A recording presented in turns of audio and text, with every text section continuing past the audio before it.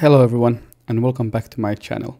Today I want to talk about Bill Gates, the richest man on earth, but this video is not about that.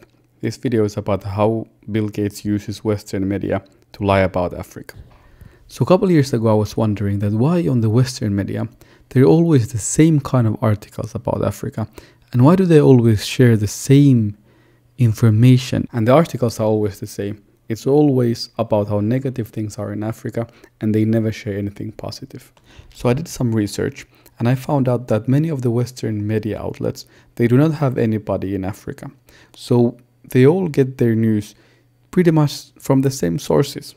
And the major news source that they have is Bill Gates and Melinda Foundation. Before doing this video, I read dozens of articles about Africa on The Guardian they were all funded and promoted by Bill Gates Foundation. And the message that they had were all the same. Africa is doing terribly and the West needs to get together. They need to give money or help to Africa or all the Africans are going to die. They are the most dramatic articles I've ever heard. So you're probably wondering why would the richest man do this? Why would he lie about Africa? And what is his point in doing this? Well, Actually, his grift was exposed a couple weeks ago, and I will give you an example why he's doing this. They'll allow us to develop a plan for the world to globally eliminate COVID 19. To achieve this goal of global elimination, we need three things the capacity to produce billions of vaccines, the funding to pay for them, and the systems to deliver them everywhere. The world's low and lower middle income countries are home to nearly half of the global population.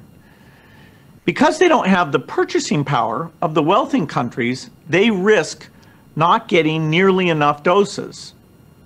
Unless we do better, they'll only be able to cover 14% of their people.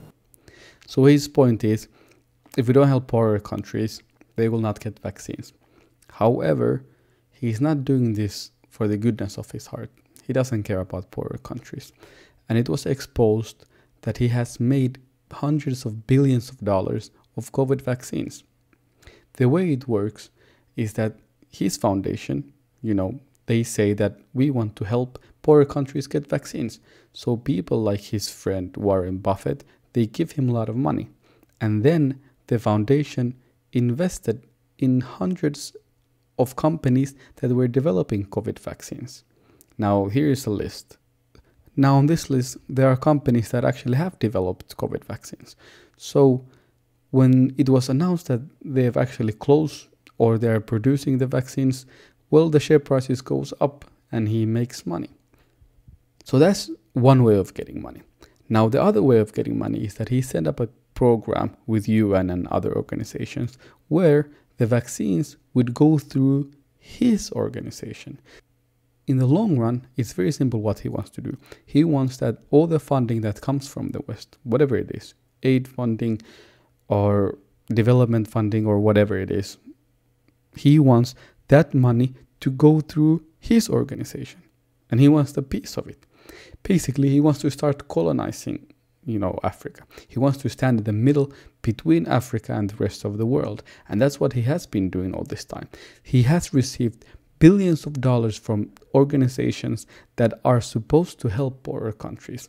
But they give it to him and he says that I'm going to go there and help them.